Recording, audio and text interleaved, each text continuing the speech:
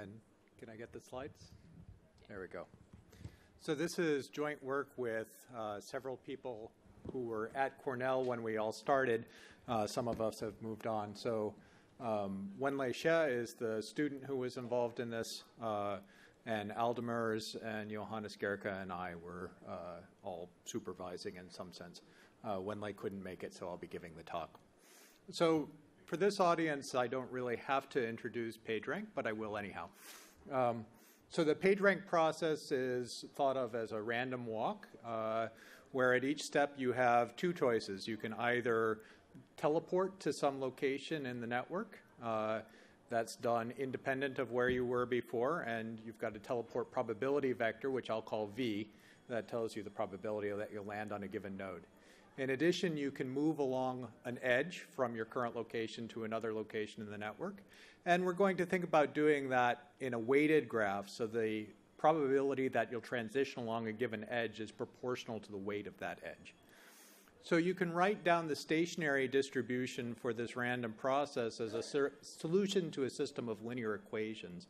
And that's what we're going to think of as the PageRank vector. So for me, this turns into AX equals B, or in this case, MX equals B, because I don't want to use A, because uh, I already think of it as the adjacency matrix. Personalization is the process of assigning parameters or varying parameters on a user by user or query by query basis in order to change the rankings that PageRank produces in order to be more relevant in a particular context. Usually we think about personalized PageRank via the teleport probability vector. So you think about biasing where you restart so that it's more relevant to a given topic or more relevant to a given individual user. Examples of this are topic sensitive PageRank or personalized PageRank where you're jumping to a single node. I'm going to think about a slightly different form of personalization in which we're varying not the node teleport probabilities, but the edge weights.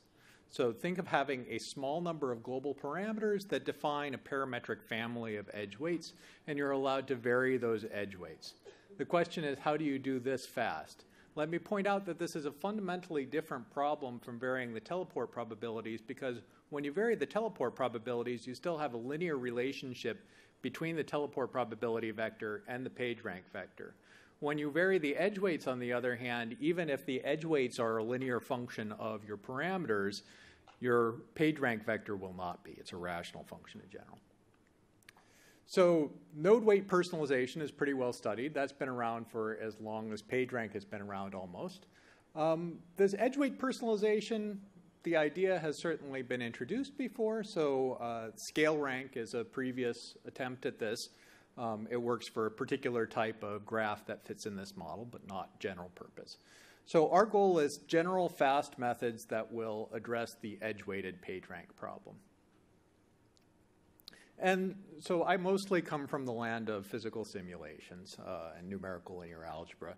And in that domain, there's a fairly common set of techniques known as model reduction. The idea behind model reduction is that you observe that the solution to some system, in this case, the solution to your PageRank system, will vary within a low dimensional space or approximately within a low dimensional space as you change some set of parameters.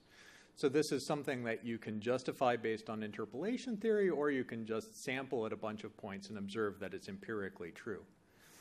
So the PageRank model reduction process, or a general model reduction process, can be thought of as a two-stage thing. There's an offline stage in which you construct this empirical basis and figure out a set of equations that you're going to enforce in order to pick an element of the space as your approximate solution. The second stage is the online stage, which is the piece that you really want to go fast. That's supposed to be the piece that you do when a user makes a new query, for example. So our goal now is online, try to do this reconstruction fast, and we're willing to do a lot of expensive offline work first.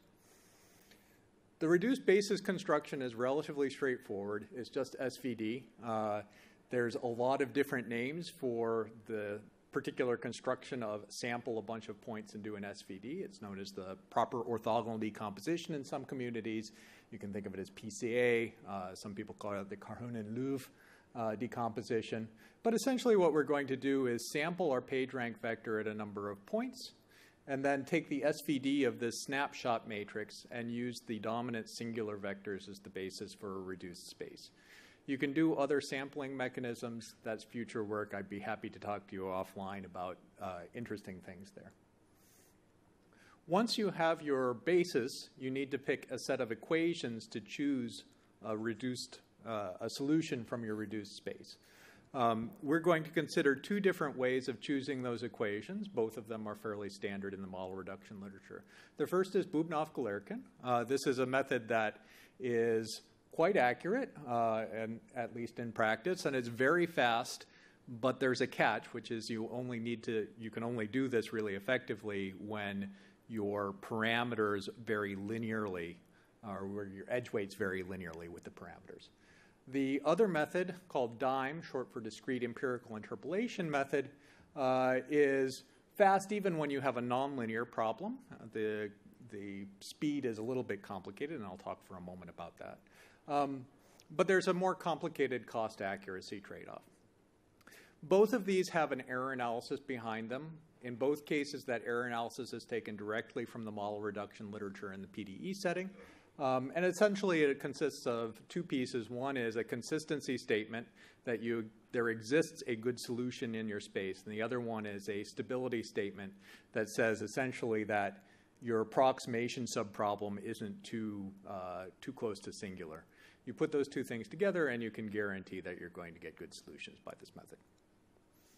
So the Bubnov-Galerkin method is simply a method in which you force the residual of your approximate solution to be orthogonal to some set of test vectors.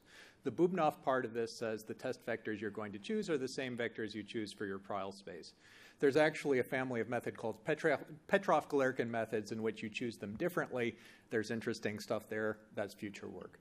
In the linear case, the Bubnov-Galerkin method can be quite efficient because you can compute the projections that are needed in order to evaluate your reduced system offline.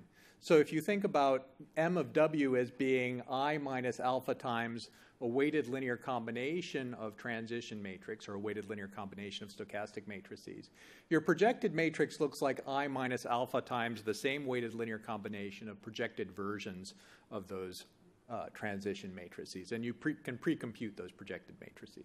This doesn't work, on the other hand, if you've got a more general nonlinear parameterization. So if you have a nonlinear parameterization, what can you do? What we're going to do is use the DEIM method or discrete empirical interpolation method. The idea behind interpolating is that you're going to enforce the equations as a small number of nodes inside of the network. So rather than thinking we're going to enforce the PageRank equations everywhere, you're going to pick, if you've got a 100 dimensional space, 100 or 200 nodes, and try to enforce the balance equations there.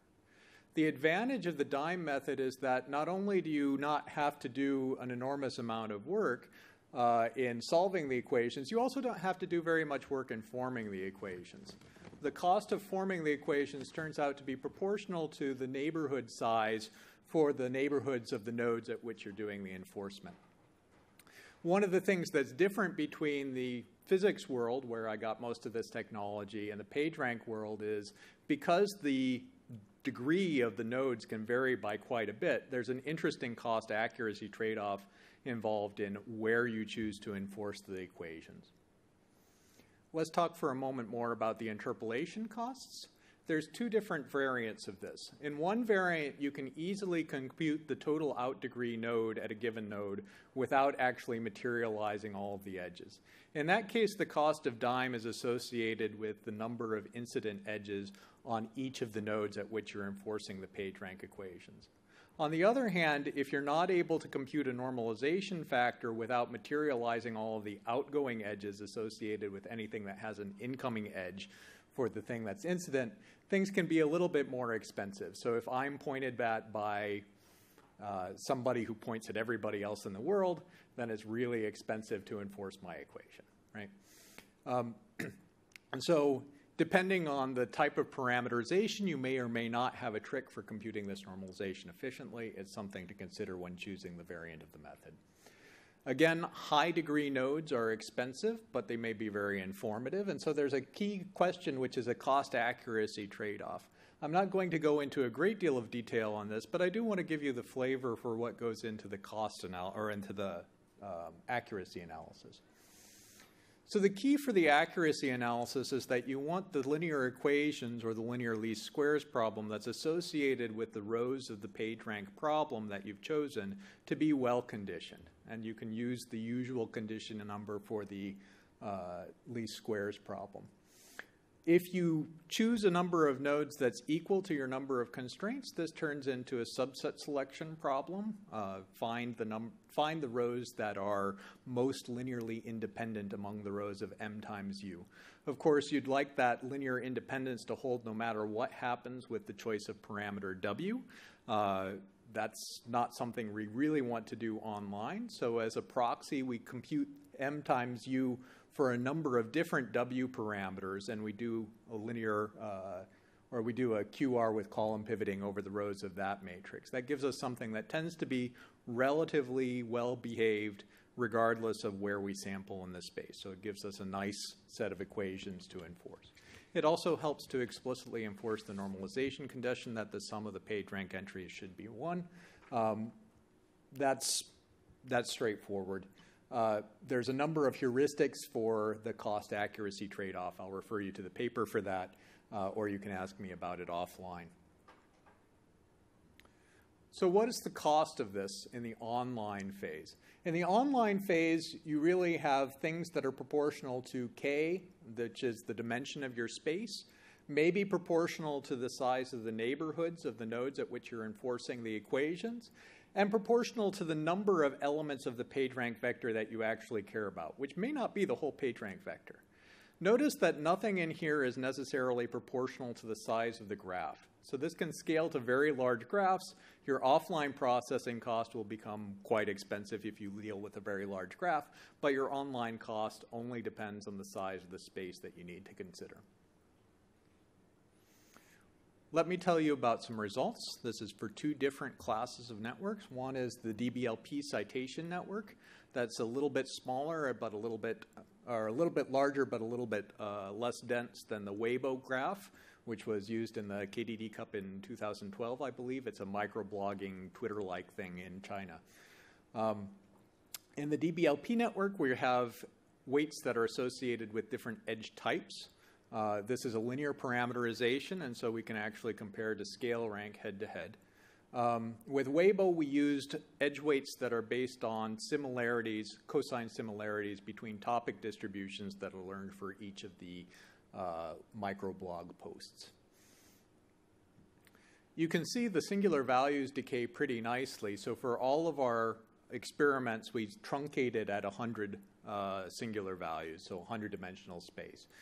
With the Weibo graph, the, the k of the singular values depends somewhat on the number of uh, topics that you use and the number of parameters given by these topics. Uh, this is a general picture. If you have a lot of independent parameters, you're going to have to use a larger space in general. The DBLP accuracy is pretty good. I want to point out that we're looking at the Kendall Tau for the top 100. Um, you can probably do the calculation in your head that uh, the if you've got one wrong, the Kendall tau will be uh, less than one by something like 10 to the negative fourth. Uh, so you can see that we've actually got cases where you're lower than the theoretical uh, minimum. That's because, remember, this is a random process because you do random sampling. So we did many experiments. In many of those experiments, you have no error at all. Occasionally, you have one thing that's off. Um, scale rank does much worse. Notice it's on the order of 10 to the minus 1. For the DEIM method, we preferred uh, DEIM 200, which has a Kendall tau of order 10 to the minus 4th. Uh, if you're interested in the actual values, the normalized L1 is the L1 error associated with the top 100 nodes uh, divided by the L1 norm of the piece of the PageRank vector associated with the top 100 nodes. The running times are pretty good. Uh, this is for computing the entire PageRank vector. Notice that most of the time is in that blue part where you're actually forming the vector. The calculation time to get the coefficients is very small. It's down there at the very bottom. For Weibo, we have slightly worse accuracies, but still pretty good. Uh, it depends a little bit on the number of parameters. The running times are also a little bit uh, different. Uh, it costs more to compute the subsystems that you're going to enforce.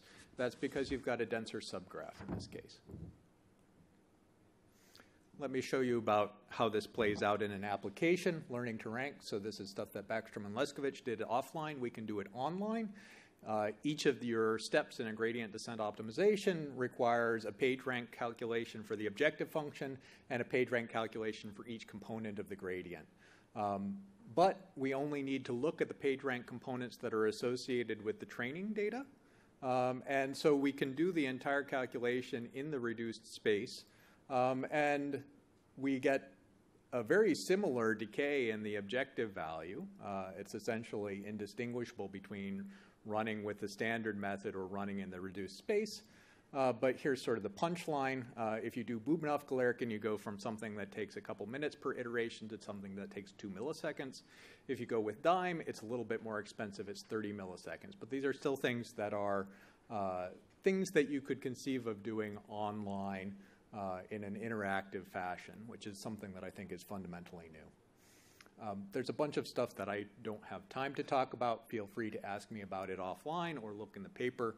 Um, and Johannes is now at Microsoft. Uh, Wenlei has moved on to LinkedIn. I still think that there's lots of cool things here. So if you're interested in talking to me about collaborating on future work, I'd love to hear about it. The paper is uh, paper 117 in the proceedings, and I'll look forward to taking questions now. Questions?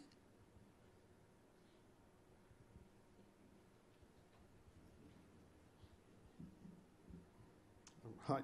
This is maybe a silly question, but when you are looking for the in degree and out degree of the nodes, you are considering the immediate neighborhood or the entire network, the propagation against the whole network? So you're looking at the in degree and the out degree of the node. So you look at the in degree of the nodes uh, that are adjacent to, or the in degree of the nodes that you're actually, where you're actually enforcing the PageRank equation, and the out degree of the nodes that point into that. And you only care about the out degree of the nodes that point into the nodes where you're enforcing things if you need those uh, edges in order to be able to compute a normalization factor. Thank you. More questions?